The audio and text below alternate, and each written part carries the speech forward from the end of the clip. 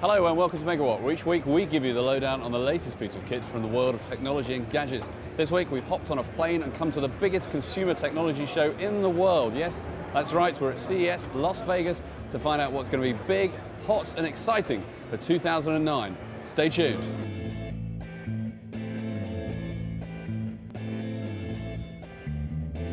So the vending machine has gone 21st century and this is the answer. Designed by a company in America called Sapient, the idea is there's a massive touchscreen that allows you to choose your drink or whatever it's vending by pressing some buttons. So we're going to choose some Coke Zero. So if I press it, now it's interactive enough that I can spin the bottle, I can see what the barcode look like, looks like, I've got some calorific details here before ordering it. If I've chosen the wrong drink, I can press another button and it takes me through to Diet Coke or in this case, full Coke. Now I'm a full fat Coke man, so I'm going to buy this button. All I have to do is press it. Now, eventually this will obviously take credit cards and real money.